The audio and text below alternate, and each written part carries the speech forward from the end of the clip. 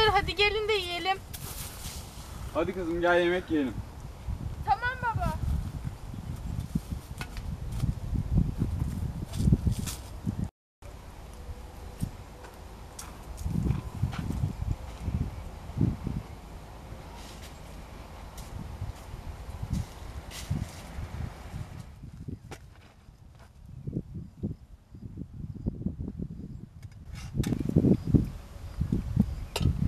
Ellerine sağlık hanım. Çok güzel yapmışsın sofrayı.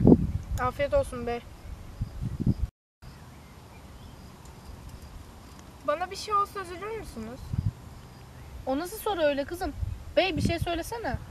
Kızım nereden çıktı bu soru? Hiç öyle aklıma geldi. Bakalım kızım bugün önemli gün. İnşallah e, istediğimiz gibi bir sonuç elde etmişsindir de şeydeki yüksek okullardan birine yerleşirsin artık. Aman anne ya yüksek okul tutsa ne olur tutmasa ne olur. Öyle kızım. Hanım yine mi aynı muhabbetler ya? Aman bey. Hadi bakalım kızım. Sen de kalkıp gidip alıver bakayım sonuçlarını. Tamam baba. Zaten ben de doydum.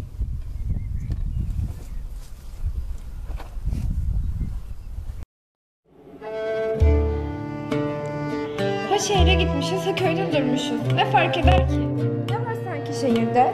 Tamam zaten şehirde duracağım da ne gerek var buradan taşınmaya? Gidip gelirim serviste. Üstelik nedir bu en yüksek okul kazanma şartı anne? Ben elimden geleni yapıyorum. Sürekli ders çalışamam ki. Her türlü alırım elime bir meslek. Nedir bu üstüme gelen baskılar? Ders çalış çalış diye bitirdiniz beni. Ne olurdu da akışına bıraksaydınız? Benim fikrimi bir kez olsun sorsaydınız. Dayanamıyorum artık. Sonuçları alıp size gösterdikten sonra kesin yine memnun kalmayacaksınız. Kim bilir neler diyeceksiniz. İstemiyorum artık. Gerçekten istemiyorum. Ne bu şekilde hiden hayatı ne de böyle baskılara maruz kalmayı. Ah karar verdim artık. Ne kadar yüksek puan alsam da ne okula gitmeyi istiyorum ne de memleketi bırakıp şehre taşınmayı. İki haftadır korkuyla ve planlarla doldurduğum gün artık geldi çattı. Karar verdim. Küçük bir umut varsa eğer göster bana Allah'ım. Şu yapacağım işe bir engel çıkar. Dedem evde olsun yahut başka biri. Yoksa kendimi tutmayacağım.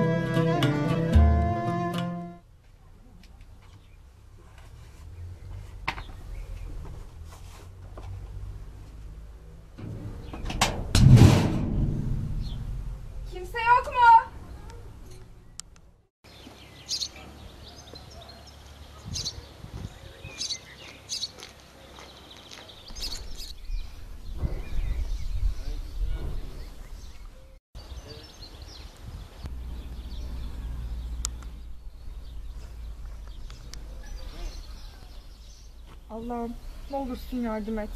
Beni Zeynep'lesin ama.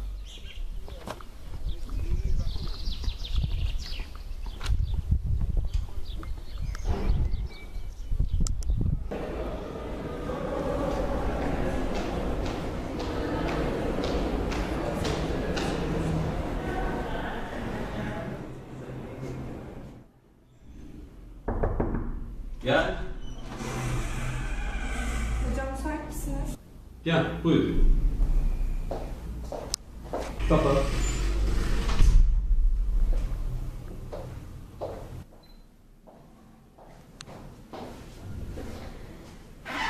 Evet, hoş geldin.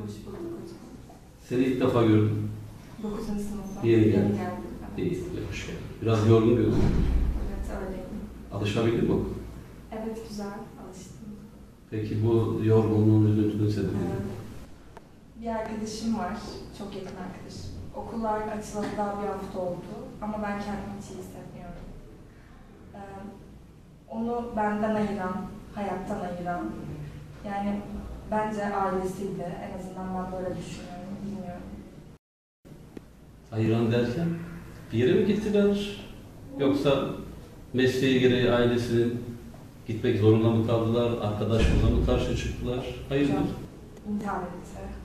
İntihar etti. Üzüldüm. Çok yakın mıydınız? Yani 7 senedir biz beraberdik hep köyde. Ben çevre köylerin birinden geliyorum. Hep aynı ortamda bulunduk. Sürekli beraberdik. En yakınımdı. Hı hı. Çok üzdü beni. Yani bilmiyorum ben ailesine bağlıyorum ama Hı. Bir bana anlatsana olayın detayını. Nedir, nasıl oldu, ne kadar yakındınız? Şu an neden sürekli hala daha onu hatırlıyorsun, düşünüyorsun? Ee, hocam bana son zamanlarda ailesinin ona yaptığı baskıdan bahsetmişti. Böyle e, bir gün işte onların bahçesinde oturduk, ders çalışıyorduk. Of. Söylesene Aret. Lisede ne yapmayı düşünüyorsunuz? Taşınacak mısınız buradan? Annemler şehre gitmeyi düşünüyorlar ama o kadar da ısrarcı değiller.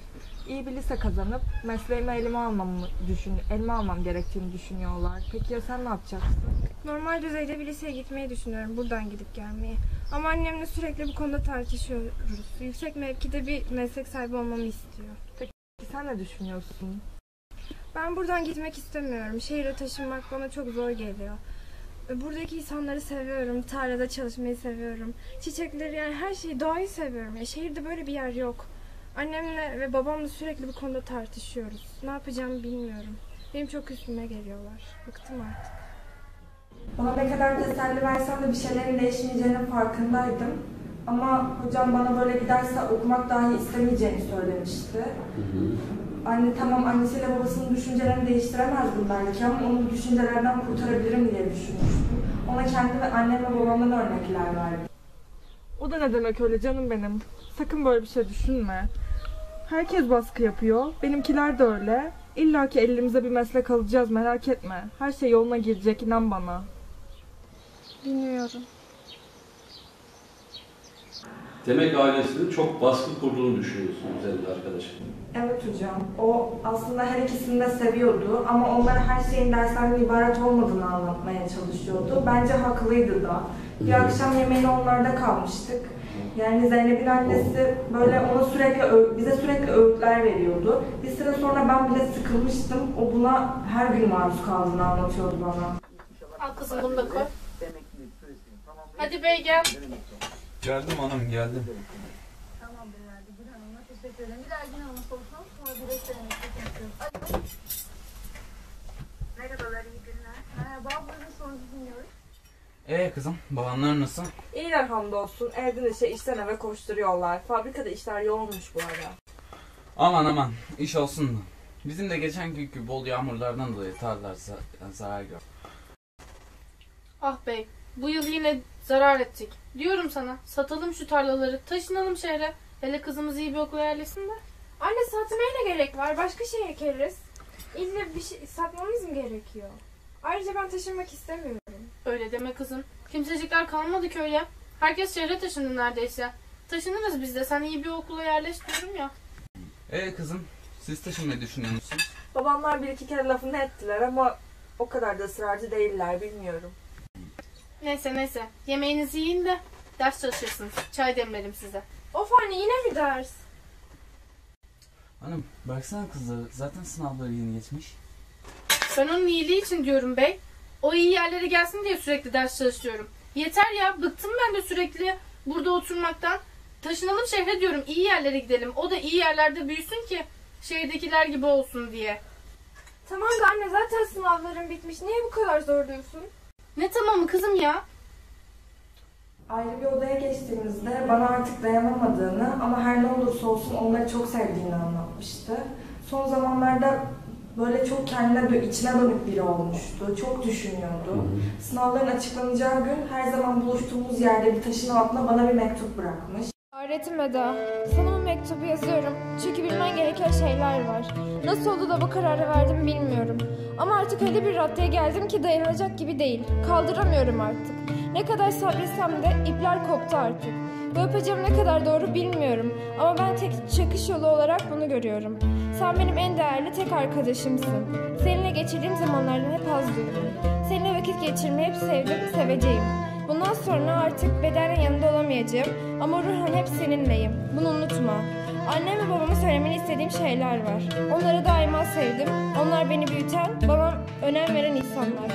Son zamanlarda onlara ne kadar çok anlatmaya çalışsam da anlatamadığım ya da anlamak istemedikleri şeyler oldu. Üzüldüm, dayanam, darıldım ama onları hep sevdim. Şu an diğer odada postayla gelen sınav sonuçlarım duruyor ve inan açmak istemiyorum. Açmayacağım da. Evde birinin olmasını çok istemiştim ama artık hiçbir engel yok. Bu mektubumu alıp okuyacağına adım gibi eminim. İleride belki, çok yakın belki çok uzak